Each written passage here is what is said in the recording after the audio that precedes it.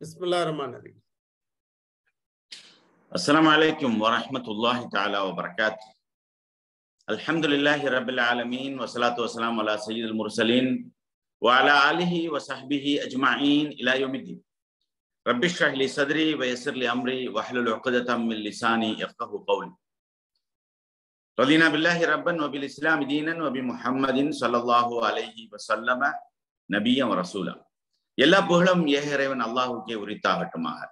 அவனது அன்பு மருளும் சாந்தியும் சமாதானமும் நமது நாயகம் செல்லல்லாஹூ அலஹி வசல்லம் அவர்கள் மீதும் சஹாபாக்கள் தாபீன்கள் தபா தாபீன்கள் மற்றும் இந்த நேரலில் ஒன்று கூடியிருக்கிற நம் அனைவர் மீதும் என்றென்றும் என்றதிலவட்டுமாக அருமை சகோதர சகோதரிகளை எல்லாம் வல்ல அல்லாஹு ஜல்லஷானு தலான மத்துணை பேருடைய பாவங்களை மன்னித்து நம்மை உயரிய சோனத்தில் ஒன்று கூட செய்வானாக என்ற முதல் பிரார்த்தனையோடு சரித்திரம் படைத்த சஹாபாக்களை குறித்து நாம் பார்த்து வருகிறோம். உண்மையில் சஹாபாக்கள் அனைவரும் சரித்திரம் படைத்தவர்கள் தான். எனவே அவர்களில் இவர்தான் சரித்திரம் படைத்தவர் இவர் ஒன்றுமில்லாதவர் என்று சொல்ல முடியாத அளவுக்கு ஒவ்வொரு சஹாபியுடைய வாழ்க்கையிலும் ஏதேனும் ஒன்று இரண்டு படிப்பினைகள் நமக்கு இருக்கத்தான் செய்யும். சஹாபாக்களுடைய வாழ்க்கையை நாம் படிக்கிற போதெல்லாம் நம்முடைய ஈவான் அப்படியே உற்சாகம் பெறுகிறது. நாமும் இந்த மார்க்கத்திற்கு ஏதேனும் செய்ய வேண்டும் என்ற அந்த உத்வேகம் நமக்குள் பிறக்கிறது. இந்த மார்க்கத்தை நம்மளவில் எட்டச் செய்வதற்காக வேண்டி அந்த சகாபாக்கள் அந்த நபித்தோழர்கள் எவ்வளவு தூரம் சிரமங்களை மேற்கொண்டிருக்கிறார்கள் எவ்வளவு தியாகங்களை அவர்கள் செய்திருக்கிறார்கள் புரிந்திருக்கிறார்கள் என்பதை நினைக்கிற போது இந்த சகாபாக்கள் மட்டும் பிறந்திருக்காவிட்டால் இந்த மார்க்கம் நம்மளவில் வந்து சேர்ந்திருக்காதே என்றும் நமக்கு என்ன தோன்றுகிறது. இன்று நாம் அந்த வகையில் சரித்திரம் படைத்த சஹாபாக்களுடைய அந்த வரிசையில் அந்த அவர்களுடைய அந்த வரிசையில் அம்மார் இப்னு யாசிர் ரலியல்லாஹு தால அன்பு அவர்களை குறித்து நாம் பார்க்க இருக்கிறோம் அம்மார் அம்மார் இப்னு யாசிர் என்று சொன்னாலே யாசிர் உடைய மகன் அம்மார். இவர்களை சொன்னாலே இவர்களுடைய தந்தை இவருடைய தாயார் இவர் அம்மார். இந்த மூன்று பேரையும் சேர்த்துத்தான் சொல்ல வேண்டும். தாயாருடைய பேர் சுமையா தந்தையாருடைய பேர் யாசிர் பிள்ளையுடைய பேர் அம்மார். என்றாலும் அம்மார் முக்கியத்துவம் பெறுகிற காரணத்தால் அவர்கள் இருவரும் முக்கியத்துவம் பெறமாட்டார்கள் என்று சொல்ல முடியாது. அருமை சகோதரர்களே கற்பனையில் நாம் மனிதர்கள் எல்லாம் உலகத்தில் தான் பிறக்கிறார். கற்பனையில் யாரேனும் ஒருவர் ஒரு குடும்பம் சுவனத்தில் பிறந்து இந்த பூமியில் வாழ வருமா என்று யோசித்து பார்த்தால் அப்படி வரமாட்டார் ஆனால் அப்படி வருவதாக இருந்திருந்தால் அம்மாரும் அம்மாருடைய தந்தையும் தாயும் அம்மாருடைய குடும்பமும் சுவனத்தில் பிறந்து இந்த பூமியில் வாழ வந்திருப்பவர்களாகத்தான் கருத முடியும். நபிகள் நாயகம் செல்லல்லாஹ் வளைவு செல்லம் அப்படித்தான் அவர்களை குறித்து சிறப்புற சொல்கிறார் சுவனத்தில் பிறந்தவர்கள் அல்ல எப்போது பார்த்தாலும் யாசருடைய குடும்பமே ரசுல்லா சொல்லுவார்கள். சபுரன் ஆல யாசிர் இன்ன உங்களுக்கு வாக்களிக்கப்பட்ட இடம் சுவனம் பொறுமையோடு இருந்து கொள்ளுங்கள் என்று சொல்லா சொல்லுவாங்க. அதாவது உங்களுடைய திரும்பும் இடம் நீ அங்கிருந்து வந்திருக்கீங்க என்பது போல நபிகள் நாயகம் செல்லல்லா வலைவு செல்லம் சொல்வார் அம்மாரை குறித்து ரசூலுல்லாய் செல்லல்லா ரஜுலுன் மினல் ஜன்ன. சுவனத்தை சார்ந்த ஒரு மனிதர் என்று சொல்வார் பூமியில் வாழுகிற மனிதர் என்று சொல்லவில்லை. இவர் சுவனத்தை சார்ந்த மனிதர் என்று சொல்லி காட்டுவார். இப்ப அப்படி என்ன தியாகங்களை அம்மாரு யாசரும் அவருடைய குடும்பமும் செய்தார்கள்? அம்மார் ரவி அல்லாஹு தாலான் அவர்களும் அவருடைய தந்தையும் தாயும் ஆரம்ப காலகட்டத்திலே அதாவது ரசூலுல்லாய் செல்லல்லா அலிஸ்லம் மக்காவில் தாருல் அருகம் என்று சொல்லப்படக்கூடிய ஒரு வீட்டில் இருந்து மறைமுகமாக இஸ்லாத்தை எடுத்து சொன்ன அந்த காலகட்டத்திலேயே அம்மா ரவி அல்லாஹு தாலான்னவர்களும் அவருடைய தந்தையும் தாயும் சுமையா யாசர் ரவி அல்லாஹு தாலான்னுமா இவர்கள் மூவரும் இஸ்லாத்தை ஏற்றுக்கொண்டார். அப்போ உங்களுக்கு தெரியும் ஆரம்ப காலகட்டத்தில் இஸ்லாத்தை ஏற்றுக்கொண்டால் என்னவாகும்? யாசர் அலி அல்லாஹு தாலானு அம்மாருடைய தந்தை மிகப்பெரிய வியாபாரம் இருந்தார் அவரிடத்தில் செல்வம் இருந்தது. ஆனாலும் அந்த செல்வமோ எதுவுமோ அவர்களுக்கு ஒரு பொருட்டாக எதிரிகளுக்கு ஒரு பொருட்டாக இருக்கவில்லை. அபூஜர்களுடைய கண்களில் அம்மார் அலி அல்லாஹு தாலாருடைய குடும்பம் இஸ்லாத்தை ஏற்றுக்கொண்டது தெரியவர் என்ன ஆகும்? என்ன நடந்திருக்கும்? நாம் எல்லாம் சொல்லி தெரிய வேண்டிய தேவை இல்லை இல்லையா? எல்லோருக்கும் தெரியும். அபூஜகளுடைய அபூஜலுடைய அந்த வக்ர எண்ணம் அந்த கொடூர எண்ணம் எல்லோரையும் மிக கடுமையாக சித்திரவதைக்கு உள்ளாக்கியது. அது மட்டுமல்ல அபூஜகில் யாசர் அலி அல்லாஹு தாலானரிடத்தில் சொன்னான் உமது கண்ணியத்தை நான் இழக்கச் செய்வேன் உமது வியாபாரத்தை நாசம் செய்வேன் உன்னுடைய பொருளை எல்லாம் அபகரிப்பேன் என்று சொன்னான் சபதம் போட்டான். இந்த குடும்பத்தையே பனு மஹூம் என்று சொல்லப்படக்கூடிய இன்னொரு கோத்திரத்திடத்தில் ஒப்படைத்தான். யோசிச்சு பாருங்க இவர்கள் இஸ்லாத்தை தழுவிய ஒரே காரணத்தால் நம்முடைய மூதாதருடைய மார்க்கத்தை நீங்கள் ஏற்க தவறுகிறீர்களா? அதை மறுக்கிறீர்களா? புதிய இஸ்லாத்தை ஏற்றுக்கொள்கிறீர்களா? என்று இந்த மூவரையும் பனு மஹ்சூம் என்று சொல்லப்படக்கூடிய ஒரு கோத்திரத்தில் ஒப்படை கோத்திரத்திடத்தில் ஒப்படைத்து இவர்களை நீங்கள் வேதனை செய்யுங்கள் என்றே ஒப்படைத்தான் என்று சொன்னால் யோசித்து பாருங்கள் மூன்று பேரையும் அனுதினமும் பாலைவன பெருவழியில் கொண்டு வந்து மிக கொடுமையாக வேதனைப்படுத்தினார். எல்லோருக்கும் தெரிந்த வரலாறு. சுமையா ரதியல்லாஹு தாலா அண்ணா அவர்களை ஒரு ஒட்டகத்துடைய இரண்டு கால்களில் இரண்டு ஒட்டகத்தில் இரண்டு கால்களை எல்லாம் கட்டி இரண்டு ஒட்டகத்தையும் இரண்டு கூறாக இரண்டு திசைகளை நோக்கி அபூஜகல் விரட்டினான். இருகூறாக அந்த அம்மா அந்த பெண்மணி கொஞ்சம் வயது முதிர்ந்த அந்த பெண்மணி ஷஹீதாகிறார் இஸ்லாத்திற்காக முதல் முதலில் உயிர் தியாகம் செய்த பெண்மணி தான் சுமையா ரத்தியல்லாஹு தாலான் யோசிச்சு பாருங்க அந்த காலத்துல இஸ்லாம் இந்த மாதிரி பிரபலமா வளரவும் இல்லை. ரசூல்லா பிரபலமாக மக்களுக்கு மத்தியில் தான் ஒரு நபி என்று வெளிப்படுத்தவும் இல்லை. முஸ்லிம்கள் எல்லாம் உறுதியாக ஸ்ட்ராங்காகவும் கூட கிடையாது. மதீனாவுக்கு வரல மதீனா போமான் என்று கூட தெரியாது இந்த இஸ்லாம். இனி வெற்றி பெறுமா? என்றே தெரியாத காலகட்டத்தில் சுமையா ரதியல்லாஹு தாலா அன்ஹா இந்த மார்க்கத்திற்காக வேண்டி தன்னுயிரை ஈந்திருக்கிறாள். முதல் ஷஹீது. அப்ப இந்த மார்க்கத்திற்காக உயிர் தியாகம் செய்தது ஒரு ஆணல்ல முதல் உயிர் தியாகம் என்பது ஒரு ஆணல்ல ஒரு பெண் செய்திருக்கிறார். நபியால் என்ன செய்ய முடியும்? யார் அம்மா ரலி அல்லாஹு பிடித்துக் கொண்டு வேதனை செய்வார்கள்? யார் அலி அல்லாஹு வேதனை செய்வார்கள்? கொடிய வேதனை இதெல்லாம் எல்லாம் வரலாறு எல்லோருக்கும் தெரிந்ததுதான் நபிகள் நாயகம் சல்லா அலிஸ்லாம் அவர்களால் ஒன்றும் சொல்ல முடியவில்லை. சபுரன் ஆல யாசர் இன்ன மௌஇதக்குமுல் ஜன்னா. பாலைவன பெருவழியில் அந்த மூவரும் வேதனை செய்யப்படுகிற நேரத்திலெல்லாம் அந்த பாதையினூடாக கடந்து செல்கிற ரசூலுல்லா அவ்வளவு பலம் பெறவில்லை. முஸ்லிம்கள் யாரும் இல்லை. குறைவாக எண்ணிக்கையில் தான் இருந்தார்கள். அப்ப ரசூல்லா சொல்லக்கூடிய ஒரே வார்த்தை பொறுமை. யாசருடைய குடும்பமே பொறுமை. உங்களுக்கு வாக்களிக்கப்பட்ட இடம் சுவனம் என்று நபிகள் நாயம் செல்லவாகு அலைவு செல்லம் சொல்லி காட்டுவார். இப்ப அம்மா ரவி அல்லாஹு தாலா என்பவர்களிடத்தில் நாம் வருகிறோம் எப்படி அம்மாரை மிக கொடுமையாக வியாதனை வியாதி வேதனை செய்தார்கள்? அழுது கொண்டே வருவார் பெருமானார் செல்லவாகு அலைவு செல்லம் அவரிடத்தில். அப்போது யார சொல்ல கண்களிலிருந்து கண்ணீர் யார சொல்லலாம் தாங்க முடியவில்லை அவ்வளவு வேதனை தருகிறார்கள் என்று சொல்வார். அப்புறம் சொல்லா அம்மாரிடத்திலும் சொன்னார் உமக்கு வாக்களிக்கப்பட்ட இடம் சுவனம் என்று. எந்த அளவு தூரம்? அம்மாரை அவர்கள் வேதனை கொடுத்தார் என்று சொன்னால் மூன்று வகையாக வேதனைப்படுத்தார் கொடுத்தார்கள். அந்த நெருப்பை மூட்டி அந்த நெருப்புக்கு மேல இந்த சுட்டக்கோளை சுத்த வைக்கிற மாதிரி கம்புல கையும் காலையெல்லாம் கட்டி அவர்கள் அப்படியே மாட்டுவார்கள் அவருடைய உடம்பிலிருந்து இளம் இளம் சகாபி அவருடைய உடம்பில் இருந்த அந்த கொழுப்புகள் வடிந்து நெருப்பில் விழும். அவ விழ விழ நெருப்பு தீஜுவாலை வேகமாக எரியும். எப்படி இருக்கு? யோசிச்சு பாருங்க. ஆனாலும் அவர் ஈமானை விட்டுக் கொடுக்கவில்லை. சில போது கசையடி கொடுப்பார்கள் சாட்டையடி கொடுப்பார்கள். ஆனாலும் ஈமானை விட்டுக் கொடுக்கவில்லை. சில போது தண்ணீரில் அவருடைய கழுத்தை மூழ்கச் செய்து அமுக்கி அமுக்கி மார்க்கத்தை விடுகிறாயா? என்றெல்லாம் அம்மா அம்மா ரதியல்லாஹு தாலாண்டவர்களுக்கு கடுமையாக வேதனை கொடுப்பார்.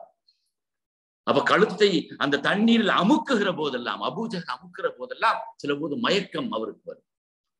ஒரு முறை அந்த மாதிரி தான் அபூஜகல் அம்மா ரலி அல்லாஹு தாலா அன்னு அவர்களை தண்ணீரில் அமுக்கி மிக கொடிய வேதனை செய்கிற போது இவன் இவர் இவர்கள் மார்க்கத்தை விட்டுவிட மாட்டார்கள் என்று தெரிந்த போது அபூஜாக்கு சொல்லி காட்டினான் என்னவென்று சொன்னால் சரி நீ இந்த மார்க்கத்தை விட வேண்டாம். எங்களுடைய கடவுள்களை புகழ்ந்து சொல் என்று அபூஜகல் சொன்ன போது அம்மா ரலியல்லாஹு தாலா அந்த மயக்கமும் அந்த மரண பயத்திலும் இருந்து என்ன சொல்லுகிறோம் என்பதை தெரியாத போது அபூஜகல் எவ்வாறெல்லாம் அந்த கடவுள்களை புகழ்ந்து சொல்ல வேண்டுமோ என்று வார்த்தைகளை சொன்னாரோ அந்த வார்த்தைகளை எல்லாம் அம்மா ரதி அல்லாஹு தாலா அவர்களுடைய கடவுளை போர் சொன்னார்கள். தன் சுய நினைவு இல்லாமல். இப்ப சுய நினைவுக்கு வந்த போது விட்டுட்டான் அபூஜகல். சுய நினைவுக்கு வந்த போது அம்மா ரதி அல்லாஹு தாலா யோசித்தார் என்ன செய்தோம் நாம்? என்ன வேலை செய்தோம் நாம்? எப்படிப்பட்ட மாபாதக ஒரு செயலை பாவத்தை செய்திருக்கிறோம்? அவருக்கு மீண்டும் பயம் வந்து விட்டது. நபிகள் நாயகம் செல்லல்லாஹு அலைவு செல்லம் அவரிடத்தில் வந்தார் என்னை மன்னிப்பானா அல்லாஹு தாலா? நான் அந்த கடவுள்களை புகழ்ந்து விட்டேனே என்று. நான் மன்னி அல்லாஹ் மன்னிப்பானா? எனக்கு பாவம் நான் செய்த அந்த பாவத்திற்கு பாவ மீட்சி கிடைக்குமா? பாவ மன்னிப்பு கிடைக்குமா? என்று. அழுத வண்ணம் திரும்பவும் பெருமானார் செல்லல்லாஹு அலைவு செல்லம் அவரிடத்தில் ஓடி வருகிறார். அம்மா ரலி அல்லாஹு தாலா அன்பு ஜிபிரி அலைசலாத்து வலாம் அவர்கள் அம்மாருக்கு நிகழ் நடந்த நிகழ்வை எல்லாம் நபிகள் நாயகம் செல்லல்லாஹு அலைவு அவர்களுக்கு அல்லாஹு அறிவித்து கொடுக்கிறார். அம்மார் அழுத வண்ணம் அங்கே வந்து நிற்கிறார்கள். நபிகள் நாயம் ஸல்லல்லாஹு அலைஹி அவர்கள் அம்மாரிடத்தில் கேட்டார்கள் உண்மை அவர்கள் மிக கொடிய வேதனை செய்தார்களா அம்மார்? ஆம் யார சூழல்லா தண்ணீரில் முக்கினார்களா அம்மார்? ஆம் யார சூழல்லா உன்னை இந்த மாதிரி இந்த மாதிரி இந்த மாதிரி வார்த்தைகளால் அவர்களுடைய கடவுள்களை புகழுமாறு சொன்னார்களா அம்மார்? ஆம் யார சொல்லலாம் நீரும் அந்த மாதிரி உம்முடைய சுயநிலை இல்லாமல் அந்த வார்த்தைகளை சொன்னீர்களா? அம்மா ஆம் யார சொல்லலாம் சொன்னேன். என்னால் தாங்க முடியவில்லை. எனக்கு சுயநினைவு இல்லை யார சொல்லலாம் அல்லாஹ் என்னை மன்னிப்பானா? அப்போது பெருமானார் ஸல்லல்லாஹு அலைஹி என்ன சொன்னார்கள் தெரியுமா? அம்மார் ஃபஇன் ஆது மீண்டும் மறுமுறை உண்மை பிடித்து இதே போன்று வேதனை செய்தால் இந்த மாதிரி வார்த்தைகளை அவர்களுடைய கடவுள்களை புகழுமாறு வார்த்தைகளை சொல்ல சொன்னால் அதே மாதிரி சொல்லுங்கள் அம்மார் என்று சொன்னார். அம்மாருக்கு ஆச்சரியம். எப்படி? அல்லாஹு தாலா மன்னித்து விட்டான். அந்த நேரத்தில் தான் சுரத்த நகலுடைய அந்நகல் என்று சொல்லப்படக்கூடிய அத்தியாயத்துடைய நூத்தி ஆறாவது வசனம் இறங்கி இருக்கிறது. அந்த வசனத்தை நபிகள் நாயம் ஸல்லல்லாஹு அலைஹி வஸல்லம் அவர்கள் சொன்னார்கள். மன் கஃபர பில்லாஹி மிம்பாதி ஈமானி யாரேனும் ஒருவர் ஈமான் கொண்டதற்கு பின்னால் மீண்டும் இறை நிராகரிப்பான் இறை நிராகரிப்பின்பார் சென்று இறை நிராகரிப்புடைய இறை நிராகரிப்புடைய வார்த்தைகளை சொன்னார். இல்லாமன் நுக்கிரிக கல்பு முத்துமஇன்னும் பில் ஈமான். எந்த இறை நிராகரிப்புடைய வார்த்தைகளை சொன்னால் அவருக்கு அவருக்கு கொடிய வேதனை இருக்கிறது அல்லாவுடைய கோபம் இருக்கிறது என்று சொல்லிவிட்டு அல்லாஹ் சொல்கிறான் இல்லாமன் உக்ரிக கல்புஹு முத்துமஇன்னும் பில் ஈமான். நிர்பந்தப்படுத்தப்பட்டு ஈமான் உள்ளமெங்கும் ஈமான் நிறைந்திருக்கிற நிலையில் ஆனால் அதே வேளை அவர் நிர்பந்தப்படுத்தப்படுகிறார் கட்டாயப்படுத்தப்படுகிறார். அந்த மாதிரி சூழலில் ஒருவர் சொன்னாலே தவிர என்று வசனம் இறங்குகிறது அப்போ உள்ளத்துல ஈமான் முழுமையா இருக்குது. உதட்டளவில் அந்த வார்த்தைகளை ஒருவர் சொல்கிறார் என்று சொன்னால் அவர் மீது அல்லாஹ் கோவப்பட மாட்டான். அது ஒரு பெரிய பெரிய தவறாக இருக்காது. இந்த வார்த்தை வசனங்களை நபிகள் நாயகம் சல்லல்லாஹு வலைவ செல்லம் அம்மாருக்கு ஓதி காட்டினார். அம்மார் இனி ஒரு தடவை உண்மை கொடிய வேதனைக்கு உள்ளாக்கி இந்த மாதிரி வார்த்தைகளை சொன்னால் விட்டு விடுகிறோம் என்று சொன்னால் சொல்லுங்கள் அம்மா என்று நபிகள் நாயகம் சல்லல்லாஹு அலைஹி செல்லம் அவர்கள் சொல்லி காட்டினார் அம்மாருக்காக வேண்டி இறங்கிய வசனம். அம்மாருக்காக வேண்டி இந்த சலுகைகள் கொடுக்கப்பட்டிருக்கிறது. எவ்வளவு தூரம் வேதனைப்படுத்தப்பட்டிருப்பார்கள். கொஞ்சம் யோசித்து பாருங்க ரசூல்லா சொன்ன இந்த வசனத்தை கேட்ட அம்மா ரவி அல்லாஹு தாலான் அவர்கள் சற்று மன ஆறுதல் அடைகள் குரானே நமக்கு சாட்சி சொல்லிவிட்டது என்று சொல்லி. அப்ப எல்லாரும் ஒரு கட்டத்துல வந்து மக்கள் எல்லாம் மக்காவிலிருந்து மதீனாவுக்கு செல்கிறார்கள். அம்மா ரலி அல்லாஹு தாலான் அவர்களும் மதீனாவுக்கு செல்கிறார்கள். ஹிஜ்ரத்து புறப்பட்டு வருகிறார். நபிகள் நாயம் செல்லம்பா அலைவ செல்லவருடைய வீட்டுக்கு மதீனாவில் யாரேனும் ஒருவர் திடீரெனெல்லாம் நுழைய முடியாது. ஆனால் அம்மா ரதி அல்லாஹு தாலான்னு மதீனாவில் பெருமானார் சல்லல்லாஹு வளைவு செல்லவருடைய வீட்டுக்கு வருகை தந்தால் உடனடியாக யார் இருந்தாலும் சரி நபிகள் நாயம் சொல்லவாறு சொல்வார்கள் ஜா தையிபுல் முத்தையிப் ஜா அத்தீபுல் முத்தையிப் என்று சொல்வார்கள். நறுமணமானவர்களில் நறுமணமானவர் வருகிறார். அவருக்கு இதனூலவு அவருக்கு அனுமதி கொடுங்கள் என்று பெருமானார் சொல்வார் அதாவது எல்லாரும் நறுமணமானவர்கள். ஆனால் அந்த மனத்திலேயே அதிக நறுமணம் கொண்டவர் வருகிறார். அவருக்கு அனுமதி கொடுங்கள் என்று பெருமானார் சல்லல்லாஹு அலைஹி வசல்லம் அவர்கள் சொல்லி காட்டுவார்கள். சகாபாக்கள் இருக்கிற அந்த சபையில் பெருமானார் சல்லல்லாஹு வலைவு செல்லம் அவர் அம்மாரை குறித்து சொல்வார்கள். இன்ன அம்மாரன் மொழிய ஈமானன் இல முஷாஷிஹி என்று சொல்வார். எந்த அர்த்தம் தெரியுமா அதற்கு? அம்மா ரவி அல்லாஹுத்தலானுடைய உடம்பும் இரத்தமும் எலும்புகளில் கூட ஈமான் ஊடுருவி இருக்கிறது என்று சொல்லுவார் சுபஹான் அல்லா ஈமான் வந்து உதயத்தில் இருக்கும். இல்லையா? அறிவுல நமக்கு கூட சில சமயம் ஈமான் இருக்கலாம். உணர்வு பேச்சு இதுல எல்லாம் இருக்கும். ரத்தத்துல கலந்துருக்குன்னு சொன்னா கூட ஓரளவு பரவாயில்ல. எலும்பில் ஊடுருவி இருக்கிறது எலும்பிலும் ஈமான் அம்மாருடைய எலும்பிலும் ஈமான் ஊடுருவி இருக்கிறது நபிகள் நாயகம் சலல்லாஹு வலிவு செல்லம் சொல்லி காட்டுகிறார் சொன்னா யோசித்து பாருங்கள் எப்படி நம்ப முடிகிறதா? அப்போ உள்ளவன் உச்சி முதல் உள்ளங்கால் உரை ஒரு உடலினுடைய ஒரு பகுதி கூட மீதி இல்லாமல் அணுக்கள் கூட அப்படி ஈமானால் நிறைந்திருக்கிறது என்று நபிகள் நாயம் சல்லல்லாஹு அலைவு செல்லம் சொல்லி காட்டியிருக்கிறார் இப்படி ஒரு மனிதனா? ஆச்சரியமான ஒரு மனிதராக இருந்திருக்கிறார்கள். ரசூல்லாய் செல்லவாசன் யாருக்காக வேண்டியும் அம்மா அலி அல்லாஹு தாலானவர்களை விட்டுக் கொடுக்க மாட்டார். யாரா இருந்தாலும் சரி. அம்மா அலி அல்லாஹு தாலானவர்களை விட்டுக் கொடுக்கவே மாட்டார். ஆமா. ஹிஜ அங்க ஹிஜரத்து போனதுக்கு பின்னாடி என்ன ஆயிடுச்சு என்று சொன்னால் வந்து பள்ளிவாசல் கட்டப்படுகிறது. பள்ளிவாசல் கட்டுறாங்க. அதை மஸ்ஜித் நபவி கட்டுறாங்க. அந்த டைம்ல அந்த டைம்ல எல்லாரும் கல் சுமக்கிறார்கள். எல்லாரும் கல் சுமக்கிறாங்க. அம்மா ரவி அல்லாஹுத்தாலும் கல் சுமக்கிறாங்க. அலி ரவி அல்லாஹு தலாரோ போன்றவரெல்லாம் அந்த கல் சுமந்த கட்டடம் கட்டுவதற்காக வேண்டி கல் சுமந்து கல் சுமந்து கொண்டு வருகிற போது தன்னோட தலையில வச்சு எல்லாரும் கல் சுமந்து கொண்டு வருவாங்க. அந்த வேலை பணம் அந்த பணி வேலை பழு இருக்கு இல்லையா? அது அது மறக்கடிக்கப்படுவதற்காக வேண்டி கவிதைகள் பாட்டுகள் படிக்கிறாங்க அப்ப இந்த கவிதை பாட்டு படிக்கிற போது கல்ல வந்து அப்படியே பாட்டு மறுமையை வச்சு இதை பற்றி சில வாசகங்கள் அமைத்து பாட்டு படிக்கிற போது எல்லாரும் மௌனமாக சற்று சப்தமாக சொல்லி அம்மா ரவி சப்தமாக அந்த கவிதைகளை படித்துக் கொண்டே வருகிறார். எல்லோரும் ஒரு கல் ஒரு கல்லாக சுமந்து கொண்டு வருகிற போது அம்மா ரவி அல்லாஹு தாலா அவர்கள் இரண்டு கற்களை சுமந்து வருகிறார்கள். சப்தமாக பாட்டு படித்து வருகிறார்கள். அப்ப அந்த டைம்ல சப்தமாக அவர் அந்த கவிதைகளை அதாவது வேலைப்பழு தன்னை வந்து பாதிக்காமல் இருப்பதற்காக சப்தமாக பாட்டு படிக்கிற போது சிலர் சொன்னார்கள் அம்மாரை பார்த்து இவர் இவர் வந்து அடுத்தவங்களுக்கு காட்டணும் அப்படின்னு தான் வேலை செய்வதை அடுத்தவங்களுக்கு காட்ட வேண்டும்.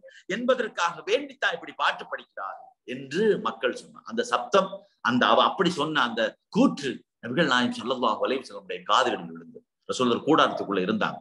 ரசூல்லா வேலை அவங்களும் வேலை செஞ்சவங்க தான் ரசூல்லா கூடாரத்துக்கு இருந்த போது இந்த சப்தம் அம்மார் வந்து அடுத்தவங்களுக்கு பகட்டுக்காக காட்டுவதற்காக வேண்டிதான் இப்படி வேலை செய்கிறார் சத்தம் போட்டு கவிதை படிக்கிறார் என்று சொன்ன போது நபிகள் நாயம் சல்லா அலுவலம் அருகில் இருந்த மக்களிடத்தில் சொன்னார் என்ன ஆயிடுச்சு? ஏன் அம்மாரை வேதனைப்படுத்துகிறார்கள் இந்த இந்த மக்கள்? என்று சொல்லி காட்டினார்கள். இன்ன அம்மாரன் ஜில்தத்து மின்பைன ஐனைய வாஞ்சி ரசூலா சொல்லி காட்டினார். அம்மார் யார் தெரியுமா? எனது இரண்டு கண்களுக்கும் மூக்குக்கும் இடையில் இருக்கின்ற இந்த நெற்றி பகுதி என்று சொல்லி காட்டினார்.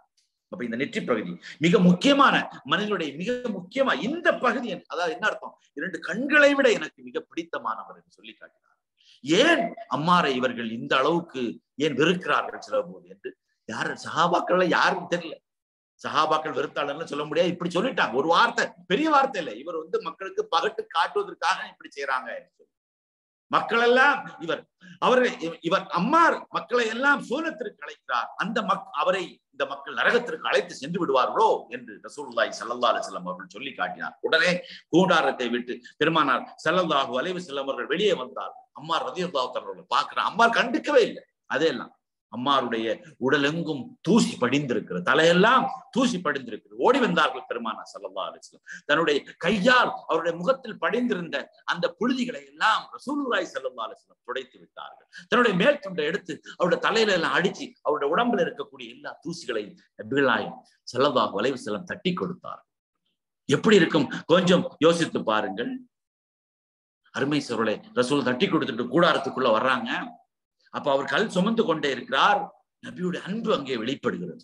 அம்மாரை அப்படி நேசித்தார்கள். ஒரு சிறிய ஒரு மதில் சுவர் ஒரு குற்றுச்சுவர் ஒன்று இருந்தது. அது இடிந்து அம்மார் மீது விழுகிறது. அப்ப மக்கள் எல்லாம் சொன்னா அம்மார் மறி மரணித்து விட்டார். இந்த சுவர் இடிந்து கீழே விழுந்து விட்டது. ரசூல்லாய் சல்லா அலிஸ்லாம் அவர்கள் அங்கே போகாமலே சொன்னார் இல்ல அம்மார் மரணிக்கவில்லை. என்று சொல்லிவிட்டு பெருமானா சல்லல்லாஹ் வலைவசலம் சொன்னார்கள். வலாக்கின் தக்குத்துலுகு அல்பியாத்துல் பாகியா மிக மோசமான அநீதக்கார சமூகம் ஒரு கூட்டம். அம்மாரை கொல்லும் என்று சொன்னார். அம்மார் அங்க இல்ல. மக்கள்கிட்ட அருகில் இருந்த மக்கள் சொன்னாங்க. இது என்ன கதை? அது பிற்கால பிற்கு பின்னாடி நாம பார்க்கலாம் இன்ஷா அல்லா எனவே மரணிக்கவில்லை என்று சொன்னார். அப்போ மதினாவுக்கு வந்ததுக்கு பின்னாடி நபிகள் நான் சொல்லல்லா வலை செல்லம் அவர்களோடு இருந்தாங்க. அம்மா ரதி அல்லா எல்லா போர்களிலும் வந்து கலந்து கொண்டார்கள். பத்ரு போர்ல கலந்து கொண்டாங்க. பத்ரு போர்ல கலந்து கொண்ட சஹாபாக்குடைய வரலாற்றை நீங்க பாத்தீங்கன்னா மிக நுட்பமாக இருக்கும். என்ன சொன்னார் பத்ரு போரில் கலந்து கொண்ட சஹாபிகளில் தாயும் தந்தையும் முஸ்லீமாக இருந்த ஒரே சஹாபி அம்மா ரபுடி யாசர் அலி அப்போ அந்த டைம்ல தாயும் தந்தை முஸ்லிமா இருக்கிற ஒரு சஹாபி பதர்ல முஸ்லிமாக முஸ்லிமுடைய தரப்பில் போர் புரியவே இல்லை. அம்மாரை தவிர. ஒன்று அம்மா முஸ்லிமா இருந்திருப்பாங்க இல்லாட்டி அப்பா முஸ்லிமா இருந்திருப்பாங்க ரெண்டு பேரும் இருந்திருக்க மாட்டாங்க. யோசிச்சு பாருங்க எவ்வளவு தூரம் இப்ப ஹாலிதின் வலிதெல்லாம் பிற்காலத்துலதான் இஸ்லாத்துக்கு வந்தாங்க. அது எல்லோருக்கும் தெரிந்ததுதான். ஒரு முறை ஹாலிதிபின் வலீதுக்கும் இந்த அம்மாருபின் யாசருக்கும் அதாவது அம்மாரோட அம்மார் ரவி அல்லாஹுடைய ஹாலிதிபின் வலீதுடைய படையில் நபிகள் செல்லல்லா சல்லாஹ் செல்லும் செல்லம் அவர்கள் அனுப்பினாங்க. அப்போ அந்த படை போயிட்டு இருக்கிற போது ஏதோ ஒரு விஷயத்தில் அந்த ஹாலிதுக்கும் அம்மாருக்கும் என்ன ஆயிடுச்சு அப்படின்னா வந்து ஒரு வாக்குவாதம் வருது. அப்ப அம்மார் ஒரு விஷயத்த சொல்றாரு ஹாலிதை ஏத்துக்கல. ஏன் ஹாலித் ஒரு தளபதி அந்த மாதிரி. அப்ப ஏத்துக்கல அந்த வாக்குவாதம் வருகிறது. அம்மா ரவி அல்லாஹாலான் அவர்கள் ஹாலித்தை எந்த வாக்குவாதத்தையும் செய்யவில்லை. எதையுமே சொல்லணும் கடுமையான ஒரு வார்த்தையை ஹாலிதுன் வலீது அம்மாரை பார்த்து சொல்லிவிடுகிறார். அப்ப நபிகளான் சல்லா அலிஸ்லாம் அவரிடத்தில் வந்து அந்த புகாரை அம்மா அலி அல்லாத்தலன்னு தெரிவிக்கிறாங்க. யார சொல்லலாம் ஹாலித் இந்த மாதிரி இந்த மாதிரி சொல்லிட்டார் யார சொல்லலாம் ஹாலித் வருகிறார். ஹாலித் வந்து அங்கேயும் வந்து ரசூல்லா சல்லா அலிஸ்லாம் அவர்கிட்ட அம்மா இந்த மாதிரி சொன்னார் நான் இந்த மாதிரி சொல்லியிருக்கிறேன் என்று என்று அந்த துணியில் பேசிக்கொண்டே இருக்கிற போது நபிகள் நாயகம் செல்லல்லா வலைவ செல்ல மஹ் ஹாலித் என்று சொன்னார். மஹ் ஹாலித் என்ன அர்த்தம் தெரியுமா? மஹ் ஹாலித் என்றார் நிறுத்துங்கள் போதும் ஹாலித் என்று சொன்னார். போதும் நிறுத்துங்கள் ஹாலித் என்று சொல்லிவிட்டு நபிகள் நாயம் ஸல்லல்லாஹு அலி வஸல்லம் அவர்கள் சொன்னார் தசுப்பு அஸ்ஹாபி. என் தோழர்களை நீங்கள் திட்டாதீர்கள். என் தோழர்கள் என்று சொல்ல அப்ப ஹாலிது பின் வலீத் யார்? சஹாபி இல்லையா? என் தோழர் இல்லையா? ரசூல்லாவுடைய தோழர் இல்லையா? எப்படி இனம் பிரிக்கிறார்கள் பாரு ஆரம்ப காலத்தில் இஸ்லாத்திற்காக தியாகம் செய்தவர் தியாய தாக தா- தாயையும் தந்தையும் தியாகம் செய்தவர் அம்மா. சாதாரணமானவர். என் சகாபாக்களை நீங்கள் திட்டாதீர்கள் என்று சொல்லிவிட்டு ரசூல்லா சொன்னார்கள். என் உயிர் யார் கைவசம் இருக்கிறதோ அந்த அல்லாஹ் மீது சத்தியமிட்டு சொல்கிறேன் உங்களில் ஒருவர் உகது மலையிலும் தங்கத்தை இன்று நீங்கள் செலவு செய்தாலும் என்னுடைய சகாபாக்கள் ஆரம்ப காலகட்டத்தில் இரண்டு கைகள் நிறைய ஒரு சாதாரணமான உணவை தர்மம் செய்தால் அதற்கு நீங்கள் இன்று உகது மலையளவு தங்கத்தை தர்மம் செய்தால் கூட அதற்கு ஈடாகாது என்று சொல்லி காட்டினார் சுபஹான் எப்படி இருக்கும் யோசிச்சு பாருங்கள் இல்லையா? மன்னா ரசூல்லா உடனடியாக மன் ஆதா அம்மாரன் ஆதாஹுல்லா யார் அம்மாரை வேதனைப்படுத்துகிறாரோ ஒரு அல்லாஹ்வை வேதனைப்படுத்தியவர். என்னன்னு சொல்றது என்னை வேதனைப்படுத்தியவர்னு சொல்லல. நபிகள் அலைஹி வஸல்லம். யார் அம்மாரை வேதனைப்படுத்துகிறாரோ அவர் அல்லாஹ்வை வேதனைப்படுத்துகிறார். ஒமன் அபுகல அம்மாரன் அபுகலஹுல்லா யார் அம்மாரை கோபப்பட வைக்கிறாரோ அவர் அல்லாஹ்வை கோபப்பட வைக்கிறார். நேரடி ரசூல்லா நிறைய சஹாபாக்களை பற்றி சொல்லும் போது அவரை வேதனைப்படுத்தினா என்ன வேதனைப்படுத்தின மாதிரி அவரை திட்டினா என்ன திட்டின மாதிரி அவரை கோவப்படுத்தினா என்றெல்லாம் சொல்லியிருக்கிறாங்க. ஆனா இங்க வித்தியாசமா சொல்றாங்க. யார் அம்மாரை வேதனைப்படுத்துகிறாரோ அவர் அல்லாஹை வேதனைப்படுத்துகிறார். யார் அம்மாரை கோவப்படுறாரோ அவர் அல்லாஹவை கோவப்பட வைக்கிறார். யோசிச்சு பாருங்க. அந்த அளவு தூரம் நபிகள் நாயகம் ஸல்லல்லாஹு அம்மாரை நேசித்திருக்கிறார்கள். காலித பார்த்து சொல்றாங்க மஹ்ய காலித் போதும். காலி நிறுத்துங்கள். காலித் எவ்வளவு பெரிய தளபதி. அப்ப என் சகாபாக்கள் அப்ப என்னடா? ஆரம்ப காலகட்டத்தில் இஸ்லாத்தை ஏற்று அதற்காக தியாக தியாகங்கள் செய்த அவர்களும் கடைசி காலத்தில் அவர் எவ்வளவுதான் பெரிய தளபதியா இருந்தாலும் இஸ்லாத்துக்காக பெரும் வெற்றிகள் பெற்று தந்திருந்தாலும் கடைசி காலத்தில் வந்தவர்கள் அந்த சீனியர் சகாபாக்களுக்கு ஈடாக மாட்டார் அதை அத வந்து ரசுல்லா அந்த அளவு தூரம் பெருமானா செல்லவாக வலைவு செல்லும் அவர்கள் அம்மாரை நேசித்தார் ஏன் அம்மாருடைய தியாகம் அப்படி. அந்த தியாகத்தில் தான் இந்த இஸ்லாம் கட்டி எழுப்பப்பட்டது நபிகள் நாயகம் ஸல்லல்லாஹு அவர்கள் சொன்னார் ஒரு தடவை அபூபக்கர் உமருடைய அந்த வழிமுறைகளை எனக்கு பின்பு நீங்கள் பின்பற்றுங்கள். அம்மா பிஹதி அம்மார் நடக்கிற பாதையில் நீங்கள் நடங்கள் என்று சஹாபாக்களை குறித்து நபிகள் செல்லல்லா வளைவு செல்லம் அவர்கள் சொல்லி இருக்கிறார் அம்மா நெட்டையாக குறைவாகத்தான் பேசுவார். நீ ரொம்ப நேரம் யோசித்துக் கொண்டே இருப்பார். மிக குறைவாக பேசுகிறார். நபிகள் செல்லல்லா வலைவு செல்லம் அவர்களோடு எல்லா போரிலும் கலந்து கொண்டார். பெருமானார் செல்லல்லாஹு வலைவு செல்லம் அவர்கள் வஃத் ஆகிறார்கள் அபுபக்கர் அலி அல்லாஹுலானுடைய ஆட்சி காலத்தில் அவர் எந்த கவர்னராகவும் இருக்கவில்லை. உமர் ரலியல்லாஹு தஆலாவுடைய ஆட்சி காலத்தில் கூஃபா ஈராக்கில் இருக்கக்கூடிய கூஃபாவுடைய கவர்னராக வேண்டா அவருப்ப அனுப்புறாங்க அம்மா அலி தஆலா ஒரு பிடிக்கவே இல்லை. உமர் ரலியல்லாஹு சொன்னாங்க நீங்க போய் தான் தீர வேண்டும் என்று. அம்மா சொன்னார் நான் போக மாட்டேன் கோபம் வந்துருச்சு உமர் அலி அல்லாஹுலான் உங்களை மாதிரி ஆட்கள் எல்லாம் என் தலையில இந்த பொறுப்பை அப்படியே தூக்கி வச்சுட்டு நீங்க எல்லாம் ரிலாக்ஸா உட்கார்ந்து இருக்கீங்களா என்பது போல கேட்டார். இப்ப நீங்க எல்லாம் தப்பித்துக் கொள்ளலாம் என்று பாக்குறீங்களா எப்படி சொல்றது? இன்னைக்கு பதவிக்காக எவ்வளவு ஆசையோட வெறியோட அலைகிறாங்க அன்னைக்கு பாருங்க பதவி கொடுக்கிறவரு வா பதவி யாருக்கு கொடுக்கப்பட வேணான்று ஓடுறாரு. பதவி கொடுக்க விரும்புகிற அந்த தலைவர் வந்து கோபப்படுறாரு. வாங்கி திறனும் சொல்றாரு. அப்ப என் தலையில எல்லாத்தையும் கட்டி வச்சுட்டு நீங்க போலான்னு பாக்குறீங்களா? என்று கோவப்படுகிற அளவு நீங்க இந்த ஆளுநர் பதவியை நீங்கள் எடுத்து நிறைவேற்றித்தான் தர வேண்டும் கட்டாயப்படுத்தி அனுப்பி வைக்கிறாங்க அம்மா ரவி அல்லாஹ் தலைவர் அவரும் அந்த கூஃபாவுக்கு போறார் கூஃபால ஒரு ஆளுநராக இருந்தால் அவருடைய இப்ப அன்னைக்கே எப்படி இருந்திருக்கும்? யோசிச்சு பாருங்க. மக்கள் சொல்லுகிறார்கள் எந்த அளவு தூரம்? என்று சொன்னால் வந்து அதாவது அங்க கூஃபால ஆளுநராக இருக்கிறவர் வந்து மளிகை சாமான்கள் அவருடைய தேவையான கோதுமை பொருட்கள் இதெல்லாம் வாங்கி ஒரு முறை அவரை இந்த கோ- இந்த கோணிப்பையில வாங்கி அவருடைய தோளில் சுமந்து கொண்டே வருகிறார்.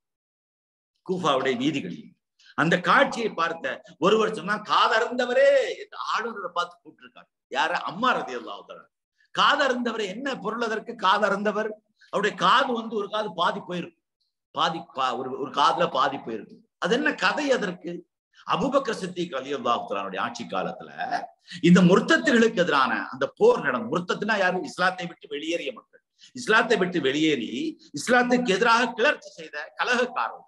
அப்ப இவர் சமய பகைவர்கள் அவர்கள். இவர்களுக்கு எதிரான போரில் அம்மார் அலி அல்லாஹ் கலந்து கொண்டார். அப்ப அந்த டைம்ல நடந்ததை குறித்து இப்னு உமர் அலி அல்லாஹ் அவர்கள் சொல்லி காட்டுகிறார்கள். எப்படி நடந்துச்சு அப்படின்னா வந்து அந்த முசைலமுத்தில் கத்தாபு என்று சொல்லப்படக்கூடிய பொய் நபிக்கு எதிராக நடந்த போரில் அம்மா ரதி அல்லாஹு வீராவேசமாக போர் புரிந்தார். ஒரு கட்டத்துல முஸ்லிம்கள் பின்வாங்கி ஓடத் தொடங்கினார் அப்போ அம்மா ரதி அல்லாஹு போன்றவர்கள் எல்லாம் தைரியமாக இருந்தார்கள் தைரியமாக நின்று அவர்கள் மக்கள் அந்த போர்க்களத்தில் நின்று மக்களை பகிரங்கமாக நான் அம்மா அருபுனி யாசர் நான் யாசருடைய மகர் அம்மார் அழைக்கிறேன் வாருங்கள் முஸ்லிம்களே ஓடாதீர்கள் தைரியமாக என்னோடு வந்து நில்லுங்கள் என்று சொன்னார். அப்போ இப்னு சொல்றாரு அந்த நேரத்துல நான் திரும்பி பார்த்தேன் அம்மா இப்னு யாசர் நின்று கொண்டே இருக்கிறார் அவருடைய ஒரு காது பாதி அருந்து தொங்கிக் கொண்டே இருந்தது. அதிலிருந்து ரத்தம் வழிந்து கொண்டே இருந்தது. அதை ஒரு பொருட்டாக அவர் மதிக்கவே இல்லை. அந்த அருந்து தொங்கி காதை பித்து அப்படி அப்படி பிச்சு அப்படி தூக்கி எறிஞ்சிட்டு மக்களை பார்த்து மக்களே என்னருகில் வாருங்கள் என்று அவர் குறிப்பிட்டு காட்டினார்.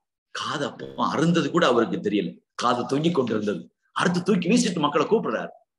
அப்ப இந்த காது பாதி போயிடுச்சு இல்லையா?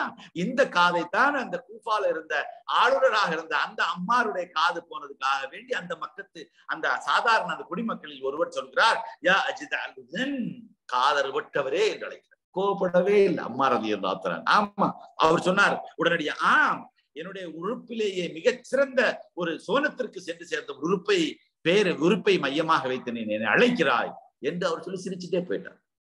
அம்பாரதி இவ்வளவு தூரம் அருமை சகோதரர்களே ஒரு ஒரு தியாகம் என்றால் என்ன? எவ்வளவு பெரிய தியாகங்களை செய்திருக்கிற இந்த மார்க்கத்திற்காக வேண்டி. கொஞ்சம் யோசித்துப்பார் எவ்வளவு ஒவ்வொரு சகாபியும் இந்த மார்க்கம் நமக்கு கிடைக்க வேண்டும் என்பதற்காக எவ்வளவு பெரிய தியாகங்கள் செய்திருக்கிறார்கள். கொஞ்சம் யோசி ஜன்னத்து கிடைக்கும் உங்களுக்கு உங்களுக்கு வாக்களிக்கப்பட்ட இடம் சோனம் தான் என்று கூறப்பட்ட பின்பும் தங்களுடைய வாழ்க்கையை இந்த மார்க்கத்திற்கு அர்ப்பணித்திருக்கிறார் உண்மையிலே இந்த சகாபாக்கள் தோன்றி இருக்காவிட்டால் நம்முடைய நிலைமை என்னவா இருக்கு யோசிச்சு பாருங்க. அந்த சகாபாக்களை கூட சிலர் திட்டுறாங்க. சிலர் மோசமா இவங்கள என்ன பத்தாம் பசிரிகள் நாகரிகம் தெரியாதவர்கள் ஒன்றும் இல்லாதவர்கள் என்றெல்லாம் அப்படியே மோசமாக சொல்லி காட்டு உண்மையில் கிடையாது. இவருடைய தியாக நிழலில் தான் நாம் இன்று வந்து நாம் வந்து வாழ்ந்து கொண்டிருக்கிறோம். இப்ப நபிகள் நாயம் செல்லல்லாஹுலே செல்லம் அவர்கள் அன்று அந்த மக்காவில் மதீனாவில் அந்த பள்ளிவாசலுக்காக கல் சுமக்கிற போது அந்த குற்றுச்சுவர் இடிந்து விழுந்த போது நபிகள் நாயம் செல்லல்லா செல்லம் அவர்கள் சொன்னார்கள் அவர் மரணிக்கவில்லை மாறாக ஒரு மோசமான அநீதமான ஒரு கும்பல் அவரை கொலை செய்யும் என்று. அதனுடைய வரலாறு என்ன? சிஃபின் என்ற போர் ஒரு போர் நடந்தது. அலி ரதி தாலா அவர்களுக்கும் முகாவியா ரதி அல்லாஹு தாலான் அவர்களுக்கும். அப்ப இது ஒரு ஒரு இதில் யார் சரி யார் தவறு என்று நாம் இங்கே சொல்ல வரவில்லை. அலிர் அலி அல்லாஹு பக்கத்தில் நியாயம் இருந்தது என்றுதான் எல்லோரும் சொல்லுகிறார் அப்ப அலிர் அலி அல்லாஹு சார்பாக யார் போர் புரிகிறார்? அவருடைய அந்த தரப்புல இருந்து யாசர் அம்மாரபன் யாசர் அலி அல்லாஹுரன் நிற்கிறாங்க. அப்ப அம்மாரபன் யாசர் எந்த பகுதியில் இருக்கிறாரோ அவர் பக்கம் நியாயம் இருக்கிறது எல்லா சஹாபாக்களுக்கும் தெரியும். அப்ப முவாவியார் அலி அல்லாஹு தலானும் அம்மார் வந்து அலி அலி அல்லாஹு தலானுடைய தரப்புல இருக்கிறாரு அந்த படையில இருக்கிறார் என்று தெரிந்த போதே அவர் கலங்க தொடங்கி விட்டார். அப்ப அம்மார் இருக்கிற படையில கண்டிப்பா நியாயம் இருக்கும் என்று என்ன செய்யறாரு முவாவியார் அலி அல்லாஹு தலான்னு பின்வாங்க தொடங்கும் யுத்தம் எல்லாம் நடக்குது பின்வாங்குது. இது சரியல்ல. அம்மா இருக்கிற பக்கம் தான் நியாயம் இருக்கும் என்று பின்வாங்க தொடங்குகிறார். ஆனால் நயவஞ்சகர்கள் சதிகாரர்கள் இந்த இருவரும் போர் முக்கிரம் மும்முரமாக செய்யாமல் பின்வாங்குவதை அவர்கள் விரும்பவில்லை. அப்ப அம்மா ரலியல்லாஹான் அவர்களை நயவஞ்சமாக கொள்கிறார்கள்.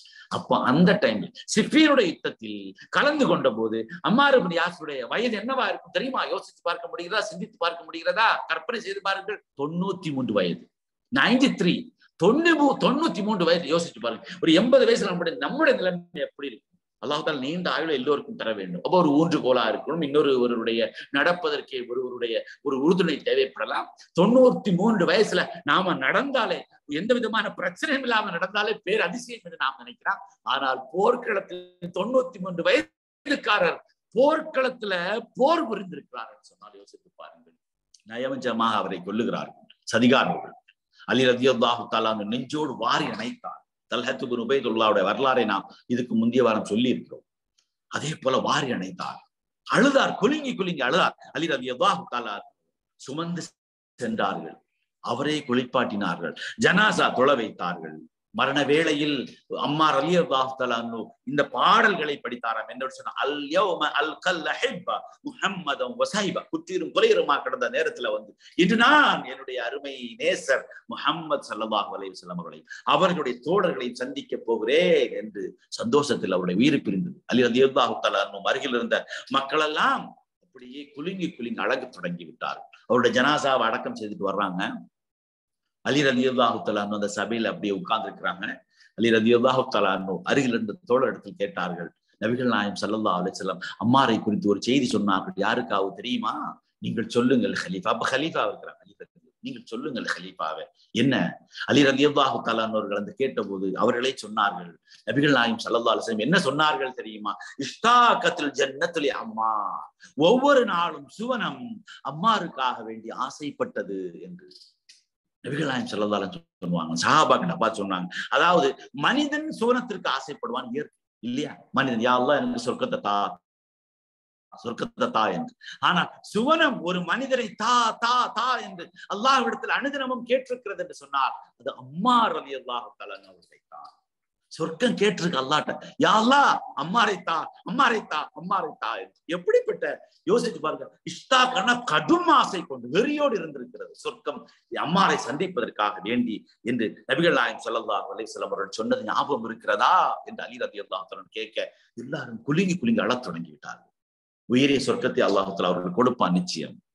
அந்த சொர்க்கத்தில் அவர்களோடு நாமும் இருக்க வேண்டும். என்ன பாடம் நமக்கு அருமை சவர்கள் என்ன பாடம் நீங்கள்? யோசித்து பாருங்கள். இந்த தியாகங்களை எப்படி செய்திருக்கிறாள் கொண்டு யோசித்து பாருங்கள். இல்லையா? எலும்பிலும் ஈமான் ஊடுருவி இருக்கிறது என்று நான் சொல்லுது நம்முடைய இதயத்தில் இருக்குதாங்கிறதே நமக்கு இதுல இருக்கும். கண்டிப்பா நிச்சயமா. இந்த மார்க்கம் என்பது நமக்கு மறுமை வெற்றிக்கான ஒன்று. இந்த மார்க்கத்தை நாம வந்து விட்டுடக்கூடாது.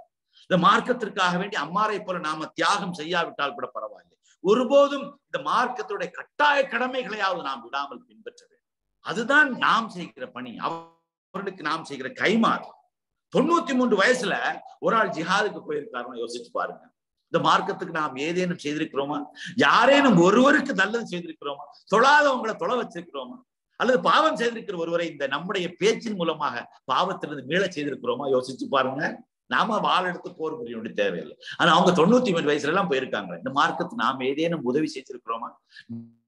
நாம இல்லாட்டி இந்த மார்க்கம் வளரும். இருந்தாலும் நம்மை ஒரு முஸ்லிமா அல்லாத்துல வச்சிருக்கிறாங்க ஒரு முஸ்லிம் அல்லாத நபர்களுக்கு இந்த இந்த மார்க்கத்தை கொடுத்து எடுத்து சொல்ல வேண்டும் என்ற உணர்வு நமக்கு இருக்கிறதா? யோசிச்சு பாருங்க. அது பெரும்பாலான முஸ்லிம்கிட்ட அந்த உணர்வு வருவதே இல்லையே முஸ்லிம் அல்லாதவர்களுக்கு இந்த மார்க்கத்தை எடுத்து சொல்ல வேண்டும் என்ற சிந்தனை வருவதில்லை அது வேற யாரும் பார்த்துக்குவாங்க என்றெல்லாம் நினைக்கிறார்கள் அப்ப நாம சொல்லாட்டி வேற யார் சொல்லுவாங்க? யோசித்து பாருங்கள் அருமை சொன் சொர்க்க சொர்க்கம் ஆசை வைத்த ஒரு நபர் என்று நபிகள் நாயம் சல்லா அவர்கள் சொன்னார். நாம அந்த சொர்க்கத்துக்கு போவோமாங்கிறது கூட தெரியாது. போவோம் நிச்சயமாக. நம்பிக்கை வைப்போம்.